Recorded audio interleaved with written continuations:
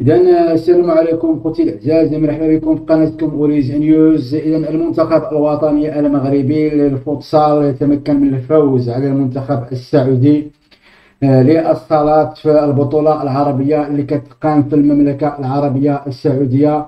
المنتخب المغربي اللي فاز بنتيجة خمسة لجوج بعد ما كان تفوق في نص بداية الشوط الثاني بربعة صفر الشوط آه، الثاني دخل المنتخب الوطني المغربي. آه، والريتم هبط علاش؟ لأنه كيفكر في المقابلة. المقبله نظرا لأن 4 0 في الشوط الأول كيحسن به النتيجة ديال المقابلة.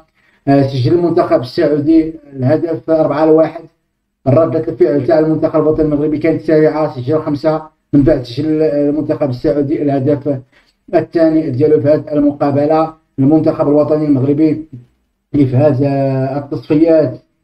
غادي يواجه غالبا المنتخب الفائز من مباراة مصر والكويت.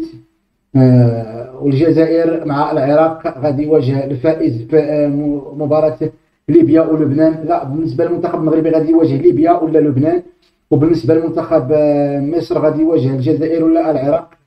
في مباراة نصف النهائي نتمنى بأن المنتخب الوطني المغربي اللي هو حامل اللقب يكون هو بطل هذه النسخة هذه رغم غياب سفيان المسرات وبلال البقالي اللي كيلعبوا البلاي اوف في الدوري الفرنسي ما استطاعوش أنهم يلتحقوا بالمنتخب الوطني المغربي إلا أن المنتخب الوطني المغربي دائما تيكون قوي بمن حضر في الفوتسال. نتمنى بأن هذا الحضور ديال هاد اللاعبين يتعمم على جميع المنتخبات ما يتأثرش بغياب لاعبين أو ثلاثة ولا حتى أربعة اللاعبين دائما نكونوا في الموعد.